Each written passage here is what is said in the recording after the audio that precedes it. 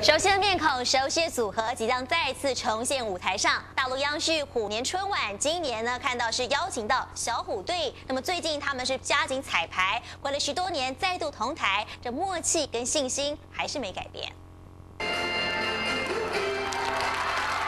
一身全白，看起来超闪亮。小虎队暌违十几年，将在央视春晚再度同台，穿上正式的表演服装，唱《青苹果乐园》。虽然还在彩排阶段，但三个人默契十足，跟当年没两样。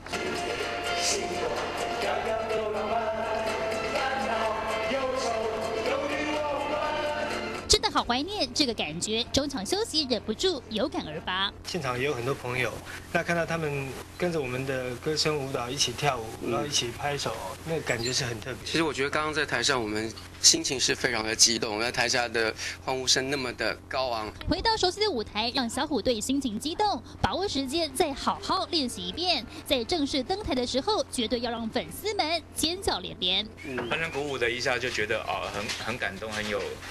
很有当年三个人的感觉。东森新闻综合报道。